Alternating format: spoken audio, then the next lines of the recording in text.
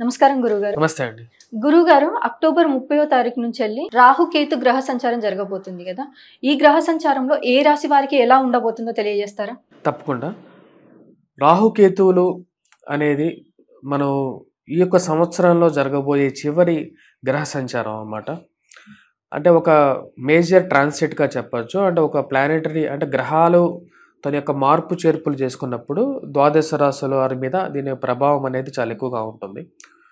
అలాగే రాహుకేతు వచ్చేటప్పటికి రాహు గురించి ముందుగా చెప్తాను. రాహు ఎటువంటి ఫలితాన్ని ఇస్తాడు? అసలు రాహు యొక్క స్థితిగతి ఎలా ఉంటుంది అనేది చెప్తాను. రాహు వచ్చేటప్పటికి ప్రస్తుతం వచ్చేటప్పటికి మేషంలో సంచరిస్తున్నాడు. అలాగే వక్రగతిని వచ్చేటప్పటికి మీనంలోకి ప్రవేశించబోతున్నాడు అనమాట రేవతి నక్షత్రం నాలుగో పాదంలోకి ప్రవేశిస్తున్నాడు. ఒక సంవత్సరం ఆరు నెలలు అంటే వన్ అండ్ హాఫ్ ఇయర్ అనమాట యాక్చువల్లీ ఒక ఒకటిన్నర సంవత్సరం పాటు తన యొక్క సంచారం అనేది మళ్ళీ మీనంలోనే సంచరిస్తాడు.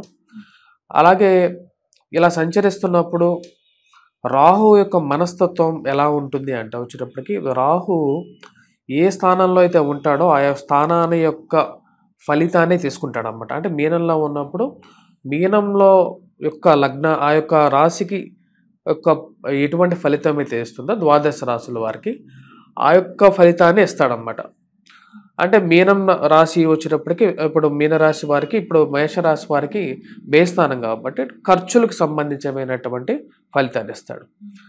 అలాగే రాహు యొక్క మనస్తత్వం అనేది ఎలా ఉంటుందంటే వక్రగతిని ఉంటుందన్నమాట. అంటే ఇప్పుడు సూటిగా పోరు.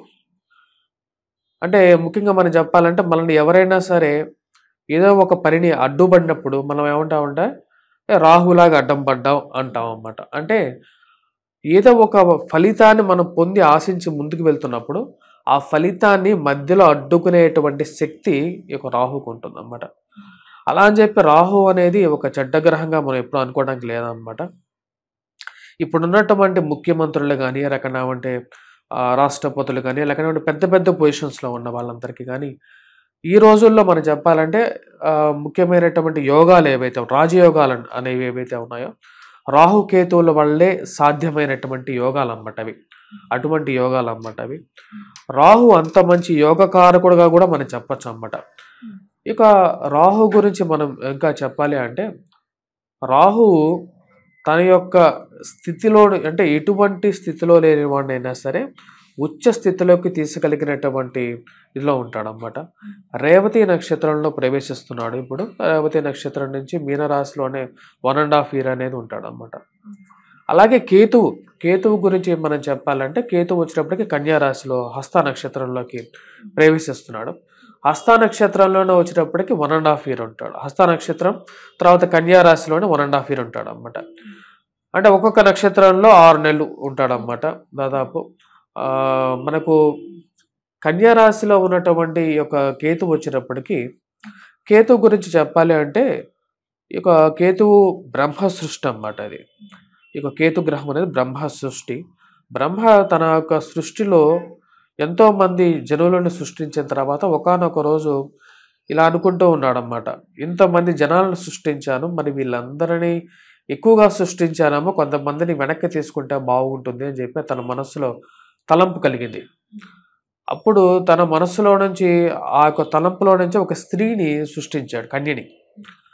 ఆ కన్య ఎప్పుడైతే సృష్టింపబడిందో తన కన్యకి చెప్పాడనమాట నీ యొక్క వృత్తి ఏంటంటే నీ యొక్క లక్ష్యం ఏంటంటే ఈ యొక్క ఉన్న జనాలు ఎవరైతే ఉన్నారో అంటే ఈ మనుషులు ఎవరైతే ఉన్నారో ఈ మనుషులకి రకాలైనటువంటి వ్యాధులని సంక్రమింపజేసేసి మనల్ని వెనక్కి తీసుకురమ్మని చెప్పి చెప్పాడు అనమాట అంతటా కన్య విలంబ విల- విలపించడం చేస్తుంది అనమాట అంటే రోధిస్తున్నది అనమాట ఆమె కళ్ళలో నుంచి వచ్చినటువంటి ఆ యొక్క బాష్పాలు ఏవైతే ఉన్నాయో అవి కింద పడి ధూమకేతువుగా వచ్చాయన్నమాట దాన్ని ధూమకేతువు అంటారు. అంటే ఆకారం ఉండదు. రాహువుకి కేతువుకి ఇద్దరికి ఆకారం ఉండదు. They are celestial. ఇంగ్లీష్లో చెప్పాలంటే సెలస్టియల్ ఆబ్జెక్ట్స్గా చెప్పచ్చు ఉంటాయి. వాటికి ఒక ఎగ్జిస్టెన్స్ అనేది ఉండదు అన్నమాట అంటే వాటికి అవి ఒక నిజంగా వాటిని ఛాయాగ్రహాలుగా కూడా మనం అంటూ ఉంటాం అన్నమాట. ఛాయాగ్రహ రూపాలే. కాకపోతే ఇవి మనిషి జీవితం మీద మటుకు చాలా ఎక్కువ ప్రభావితం అనేది చేస్తూ ఉంటాయి. ముఖ్యంగా మనం తీసుకునే నిర్ణయాల మీద చాలా ప్రభావితం చేస్తాయి అన్నమాట. కేతువు వచ్చేటప్పటికి భక్తిని శ్రద్ధని ఇవ్వగలిగినటువంటి గ్రహం అన్నమాట. మోక్ష మార్గాన్ని ఇవ్వగలిగినటువంటి గ్రహం అదృష్టాన్ని కూడా ఇవ్వగలిగినటువంటి వాడు జయాన్ని ఇవ్వగలిగినటువంటి వాడు. అన్ని విషయాల్లో చాలా మంచి గ్రహంగా కూడా మనం చెప్పొచ్చు అన్నమాట. గురువు గారు రాహుకేతు గ్రహ సంచారంలో కర్కాటక రాశి వారికి ఎలా ఉండబోతుందో తెలియజేస్తారా? రాహుకేతు సంచారంలో కర్కాటక రాశి వారికి వచ్చినప్పటికీ కేతు చాలా యోగకారకమైనటువంటి స్థితిలోకి వచ్చాడు. కాకపోతే రాశి వారికి వచ్చినప్పటికీ రాహువు ఎవరైతే ఉన్నారో భాగ్యస్థానంలో ఉన్నాడు అన్నమాట భాగ్యస్థానం అనేది తండ్రి స్థానం. అలాగే తృతీయం ఏంటంటే మూడో స్థానం వచ్చినప్పటికీ భాతృస్థానం అన్నమాట. భాతృస్థానంలో వచ్చినటువంటి కేతు వచ్చినప్పటికీ పూర్తి యోగకారకుడు పూర్తి యోగాన్ని ఇస్తాడనమాట విజయాన్ని ఇస్తాడు. మీరు యత్న కార్య ఫలాన్ని ఇస్తాడనమాట అంటే మీరు చేపట్టిన ప్రతి పనిలోనూ విజయాన్ని కూడా ఇస్తాడు. ఈ యొక్క రాశిలో ఎవరైతే ఈ యొక్క ఫైనాన్షియల్ రొటేషన్స్ కానీ స్పెక్యులేషన్స్ కానీ ఎక్కువగా ఇన్వాల్వ్ అవుతుంటారో వారికి చాలా అనుకూలమైనటువంటి ఫలితాన్ని అయితే ఇస్తాడనమాట అలాగే మ్యాథమెటికల్ స్కిల్స్లో కానీ లేకుండా ఉండే సంగీతంలో కానీ లేకుండా ఉంటే గాత్రంతో పనిచేసే వాళ్ళు విద్యార్థులకు కానీ లేకుండా ఉండే ఉపాధ్యాయులకు కానీ ఆ యొక్క ప్రొఫెషన్స్లో ఉన్న వారందరికీ అనుకూలమైనటువంటి ఫలితాలు ఇస్తాడు. దూర ప్రాంత ప్రయాణం అనేది వారి జీవితంలో ఉంటుందన్నమాట. ఈ యొక్క కర్కాటక రాశి వారికి విజయాన్ని అయితే ఇస్తాడు. కాకపోతే తండ్రి తరపు రావాల్సినటువంటి స్థిరచరాస్తులు ఏవైతే ఉన్నాయో వాటిలో కొన్ని అడ్డంకులు అనేవి ఏర్పడతాయి. మరియు అలాగే పితృ సంబంధితమైనటువంటి ఆస్తుల విషయంలో మా తమ్ముళ్ళు అన్నలు లేకుండా ఉండే సిస్టర్స్ మధ్య గొడవలకి మనస్పర్ధలకి గురి అవ్వటం తనకు రావాల్సినటువంటివి తనకు దక్కలేదన్న ఒక మనస్తాపం అనేది ఉండిపోతూ ఉంటుంది అన్నమాట అటువంటి విషయాన్ని కూడా గురి చేసే విధంగా ఉంటుంది. ప్లస్ వాటన్నిటితో పాటు చెప్పాలంటే విద్యార్థులు అయితే మటుకు కొద్ది కష్టపడి చదవవలసినటువంటి పరిస్థితి అన్నమాట. ఇక రాశి వారికి ముఖ్యంగా చెప్పాలంటే కర్కాటక రాశి వారు ఎవరైతే ఉన్నారో ఈ యొక్క రాశి వారికి వచ్చినప్పటికీ ఆరోగ్య సంబంధితమైన విషయాల్లో తగు జాగ్రత్త అనేది చాలా చాలా ముఖ్యం అన్నమాట. ఎంత జాగ్రత్తగా ఉంటే అంత మంచిది అన్నట్టుగా కూడా చెప్పొచ్చు అన్నమాట. భాగ్యస్థానంలోకి వచ్చినటువంటి రాహు వచ్చినప్పటికీ కొద్దిగా హెల్త్ని బాగా డిస్టర్బ్ చేసే విధంగా కూడా ఉంటాడు. మరియు రావాల్సినటువంటి ప్రమోషన్స్ కానీ ఇంక్రిమెంట్స్ కానీ అవి దగ్గర దాకా వచ్చి దూరం అవ్వటం కూడా జరుగుతూ ఉంటుంది అన్నమాట. ఈ యొక్క రాహు యొక్క ప్రభావ రీత్యా.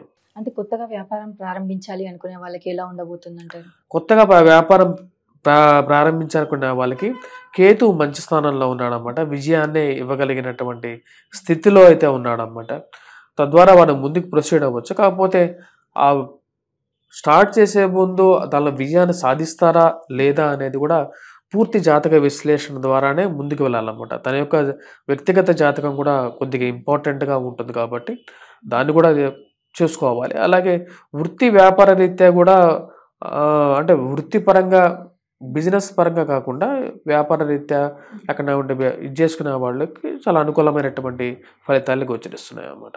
ఓకే అంటే వీరు చేయాల్సిన పరిహారం ఏంటో తెలియజేస్తారు? వీరికి ముఖ్యంగా రాహుగ్రహ ప్రభావం అనేది ఎక్కువగా ఎఫెక్ట్ చేయబోతుంది అన్నమాట కర్కాటక రాశి వారి మీద రాహు ప్రభావం అనేది ఎక్కువగా ఉంటుంది. రాహు వచ్చినప్పటికీ ముఖ్యంగా మానసిక చింతన ఎక్కువగా గురి చేసే విధంగా ఉంటాడు. కొన్ని కొన్ని సార్లు విచారాన్ని కలిగిస్తాడనమాట విచార గ్రహమైనటువంటి గ్రహంగా కూడా చెప్పచ్చు. వక్ర తప్పుడు దారిలో తీసుకెళ్ళేటువంటి స్థితిలో కూడా ఉంటాడు అనమాట వీటన్నిటికీ అధిపతి వచ్చేటప్పటికి దుర్గాదేవి అనమాట దుర్గా ఆరాధన అనేది కంపల్సరీగా మీరు చేయాల్సి ఉంటుంది. సుబ్రహ్మణ్యేశ్వర స్వామిని కూడా పూజించడం అనేది ముఖ్యమైన సూచన. ఓకే గురువు గారు కర్కాటక రాశి వారికి ఎలా ఉండబోతుంది అనేసి చెప్ప చక్కగా చెప్పారు. అలాగే వాళ్ళు ఏ దేవుని ఆరాధించాలి దుర్గాదేవిని ఆరాధించడం వల్ల ఎలాంటి ఫలితాలు కలుగుతాయి అనేసి చాలా చక్కగా వివరించారు గురువు గారు ధన్యవాదాలు.